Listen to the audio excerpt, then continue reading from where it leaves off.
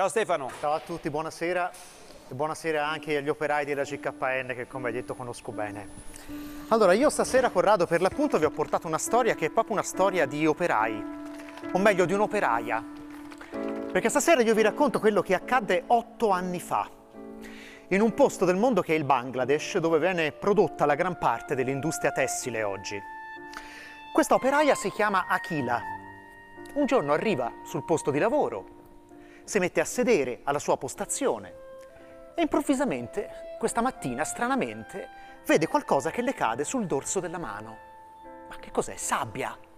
Strano, la sabbia cade dal soffitto, alza gli occhi e vede che non è sabbia, è polvere di cemento, perché c'è una crepa là, accanto al neon, proprio sopra la postazione dove lavora ed è una crepa che non ha mai visto perché lei lavora là e tutti i giorni le capita di alzare gli occhi. Allora si alza, va a chiamare il capo reparto e gli dice c'è una crepa là accanto al neon, lui la guarda e le dice e tu smetti di lavorare per venire a parlarmi di una crepa sul soffitto, torna a lavorare e ringrazia se non ti faccio rapporto. Achila torna alla sua postazione, si mette a lavorare.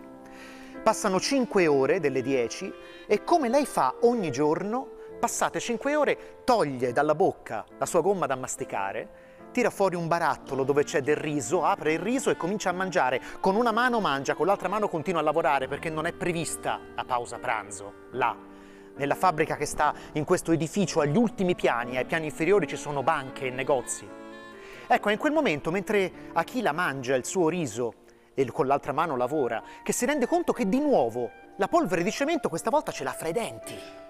Per cui alza gli occhi di nuovo e si rende conto che la crepa è ancora più grande. Allora si guarda intorno, non c'è nessuno che la guardi. Ha un'idea. Prende la gomma da masticare, sale in piedi sul tavolo e mette la gomma da masticare dentro la crepa, là, accanto al neon, dicendo almeno se la crepa si allarga me ne renderò conto. Dopo cinque ore è la fine del suo turno. Achila alza gli occhi e vede che la gomma da masticare è già in tensione, è già tirata, tanto la crepa già in sole 10 ore è aumentata. Allora torna dal capo reparto e gli dice guarda che c'è una crepa, lui la interrompe e le dice no, senti adesso basta. Ma come? Io ho messo una gomma da masticare dentro la crepa e ascolta, ti ho detto basta. Torna qua domani a lavorare e se non ti va bene, la porta è quella. La mattina dopo, giù, all'ingresso, fuori dalla fabbrica, le operaie sono tutte là fuori e c'è la più anziana di loro che dice guardate che ai piani inferiori, nella banca, nei negozi, oggi non lavora nessuno perché hanno detto che l'edificio è a rischio crollo.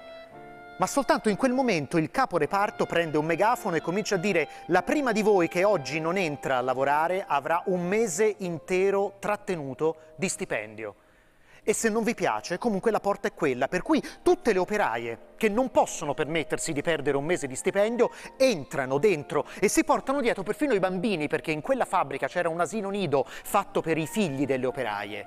Entrano dentro e appena entrano dentro Achila si rende conto che il chewing gum che ha messo la sera prima ormai è diventato una specie di ragnatela sul soffitto e non fa tempo a pensare che no, non è possibile, non è assolutamente possibile che qualcuno si prenda questo rischio, non fa tempo a pensare questo che il rumore è assordante, gigantesco e crolla tutto.